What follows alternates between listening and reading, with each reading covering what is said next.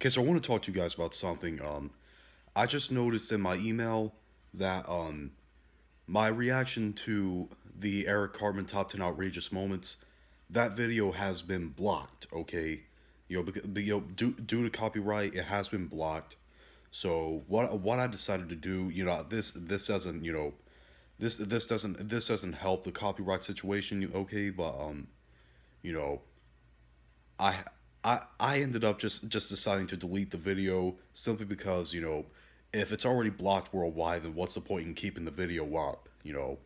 So I just want to give you heads up you know a little bit of bad news you know due to copyright uh, um, that that that reaction video has been blocked and because of the fact that it's been blocked I found no reason to keep it on YouTube so I decided to delete it